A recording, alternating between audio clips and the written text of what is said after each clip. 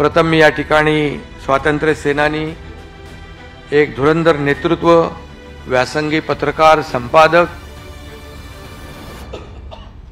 असे स्वर्गीय जवाहरलाल दर्डाजी बाबूजी यांची आज जयंती आहे.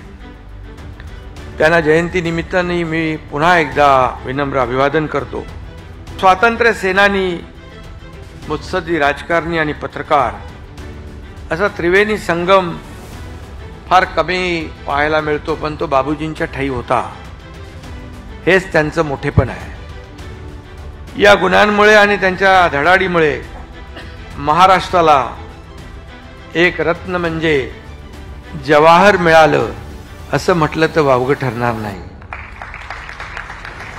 मगाशी विजय विजयबाबूंनी राजेंद्र बाबू मला म्हणाले की आपलं जे कोस्टल हायवेचं जे आपण प्रमोनाड करतोय गार्डन त्याच्यामध्ये बाबूजींचं एक चांगली जागा बघून एक सुंदर असं स्मारक तिकडे करायचं आहे.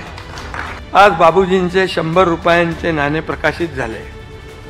यावर बोलायचं म्हणजे बाबूजी आणि लोकमत शंभर नंबरी सोनं आहे. असं म्हटल्यास वावगं ठरणार नाही.